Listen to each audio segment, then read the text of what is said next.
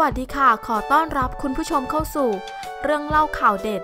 เผยเรื่องจริงชีกห์ ฮัมเดน เจ้าชายดูไบกับชีวิตสุด perfect ราวกับเทพนิยาย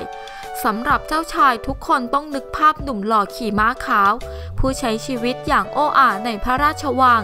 อย่างที่เคยเห็นในภาพยนตร์เป็นแท้แน่นอนค่ะ และคงมีน้อยนักที่คนจะรู้ว่า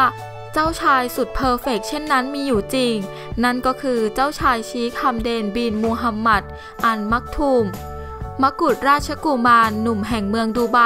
ที่นอกจากทรงพระสิริโฉมงดงาม พระปีชาสามารถครบถ้วนแล้ว ยังมีมุมอบอุ่นชวนหลงไหลอีกมากมาย เห็นได้จากอินสตาแกรมส่วนพระองค์ ที่มีผู้ติดตามมากกว่า 6.7 ล้านคนเลยทีเดียว ชิคฮัมเดนมีพระนามเล่นว่า ฟาซาประสูติเมื่อวันที่ 14 พฤศจิกายน 1982 พระชนมายุอายุ 36 พรรษา ทรงเป็นพระโอรสองค์ที่สองของกษัตริย์ ชิคมูฮัมหมัดบิน ราชิดอานมักทูม ผู้ปกครองเมืองดูไบประเทศอาหรับเอมิเรตทรงจบการศึกษาจากโรงเรียนเตรียมทหารโรงเรียนเดียวกับเจ้าชายวินเลียม และเจ้าชายแฮร์รี่แห่งราชวงศ์อังกฤษ ก่อนเรียนต่อด้านเศรษฐศาสตร์ หลักสูตรเข้มงวดพิเศษ ที่ London School of Economics โดยพระองค์ทรงเชื่อว่า การศึกษาคือสิ่งที่ทำให้ชีวิตคนเราก้าวหน้า จึงสนับสนุนการเรียนรู้ของประชาชนทุกด้าน เข้าร่วมเป็นสมาชิกดูแลสภากีฬา จัดตั้งโครงการอบรมเยาวชนรุ่นใหม่ สู่การเป็นผู้บริหารธุรกิจ ทั้งได้รับการแต่งตั้งให้เป็นอธิบดีของมหาวิทยาลัย นอกจากนี้พระองค์ยังทรงดำรงตำแหน่ง เป็นประธานสภาบริหารรัฐดูไบ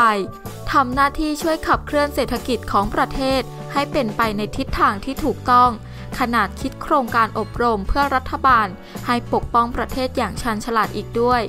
ในมุมของชีวิตส่วนพระองค์ โปรดกีฬาเอ็กซ์ตรีมทุกประเภท ตั้งแต่โดดร่ม ดำน้ำสโนว์บอร์ด รวมถึงการขี่ม้า ที่จริงจังเข้าขั้นเป็นนักกีฬาทีมชาติ คว้าเหรียญทองในการแข่งขันระดับโลกมาแล้วมากมาย แต่กีฬาที่ทุกคนสนใจและทำให้พระองค์ดูทรงเสน่ห์มากที่สุด ก็คงเป็นการฝึกฝนเหยี่ยว ขนาดมีการจัดตั้งสมาคมกีฬาฝึกเหยี่ยวนานาชาติ ที่พระองค์ทรงเป็นหนึ่งในสมาชิก เพื่อกระชับมิตรกับประเทศเพื่อนบ้านและเพราะความรักที่มีต่อสัตว์ด้วยนั่นเอง ใครที่สงสัยว่าเจ้าชายนั้นอภิเษกสมรสหรืออยัง ขอบอกเลยค่ะว่า หัวใจยังว่างของแท้